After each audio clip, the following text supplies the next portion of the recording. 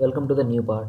In this part we will learn about the join operations. So we will be learning what are join operations where and why should we use join operations what methods are available in the join operations. It means if we need to implement join operations then what method we are going to use. And at the last what may be the examples of the join operations. So before starting this video let me tell you if you are working with any kind of application and any kind of database. So definitely you will have lots of scenarios where you have to implement the join operations.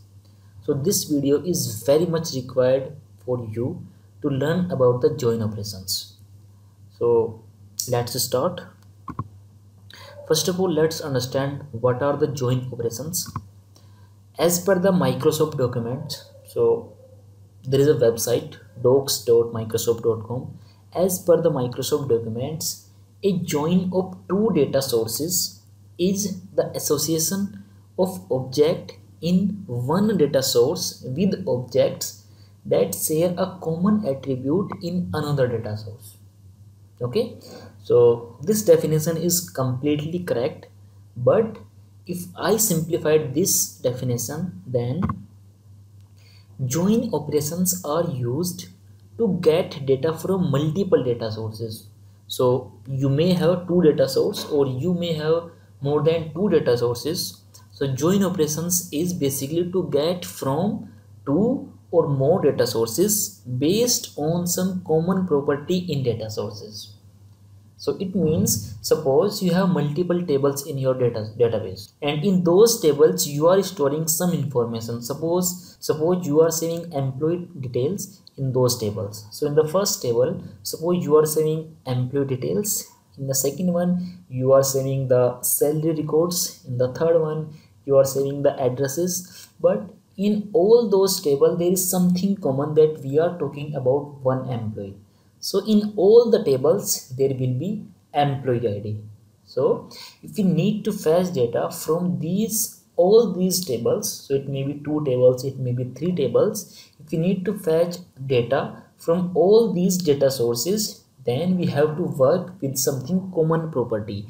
And that common property in this scenario is employee id so definitely in your scenario you will have some another properties so join operations are used to get data from multiple data sources based on some common property in the data source. Now let's see a visual example. Suppose I have this table. This table is the employee table. Okay, and this this table has two records id 1 2 names and it has address id so address id basically is the id of an, another table the table on the right side is the address table. On the left side the table is employee and the second table has the details of the address. So for example for id 1 which is of john the address is abc street. For id 2 the address is xyz street. Okay? If we need to implement join operations on these tables then what can we get? So this is the result table okay? In the result table we have data from both the tables. Why? If we talk about that what is the address of john so the john address is abc street. Why?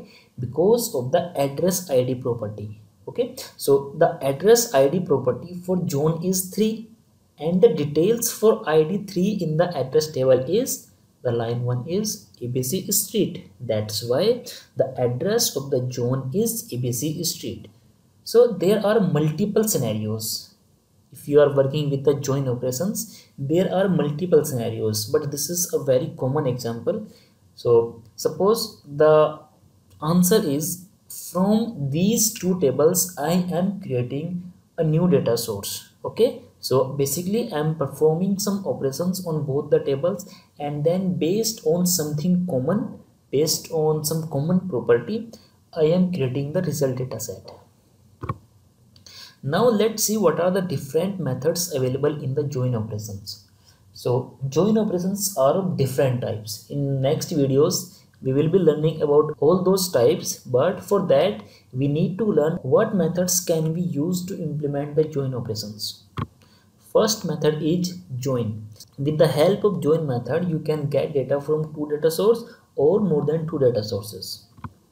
Then we have one more method group join used to get data from two data sources by grouping all the elements. Now the question is what is the meaning of grouping all the elements? So in the next videos we will be learning both the methods with different scenarios in details. Let's see how many type of combinations can we create from the join operations.